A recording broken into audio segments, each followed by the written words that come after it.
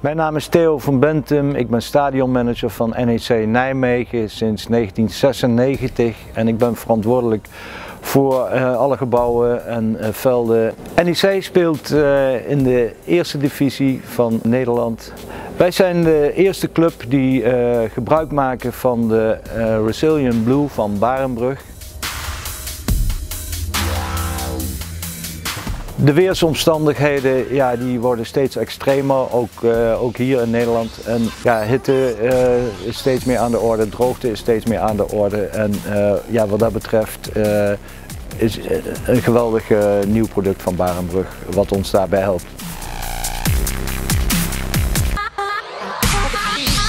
NEC is het budget niet onbeperkt, dus we moeten creatief zijn en ja, het wordt steeds lastiger om een, uh, een, goed veld neer te leggen. We hebben dit afgelopen voorjaar toegepast. Uh, wij zijn uh, heel erg enthousiast. Ook van het technisch beleid van, van de spelers en trainerstaf en zo krijg ik ook steeds meer complimenten dat het hoofdveld perfect uitziet.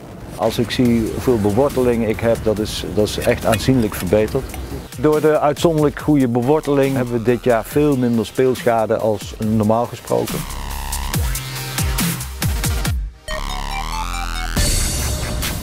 Dankzij Barenbrug en Resilient Blue hebben we met minimale middelen toch een topveld.